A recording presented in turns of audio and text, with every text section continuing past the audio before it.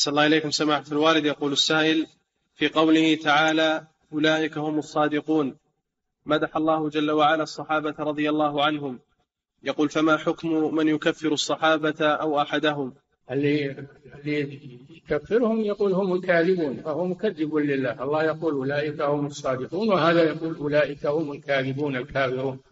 هذا كفر صريح والعياذ بالله. نعم.